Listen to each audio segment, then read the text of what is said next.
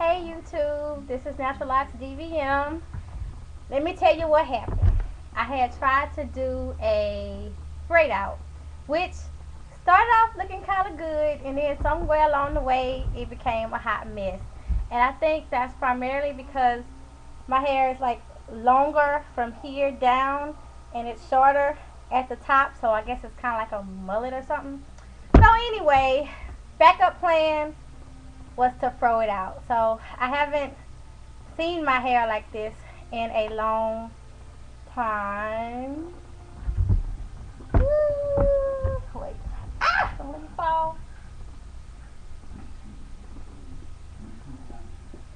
So I'm going to actually go out like this and hopefully I won't get too many crazy looks from the folks.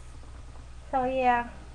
Usually I pull it, I, when I do wear Afro puff, I pull it back to kind of make it as conservative as possible.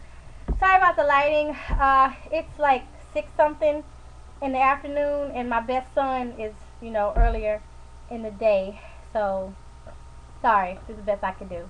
So I just want to show y'all my little stretch uh, braid out turned afro.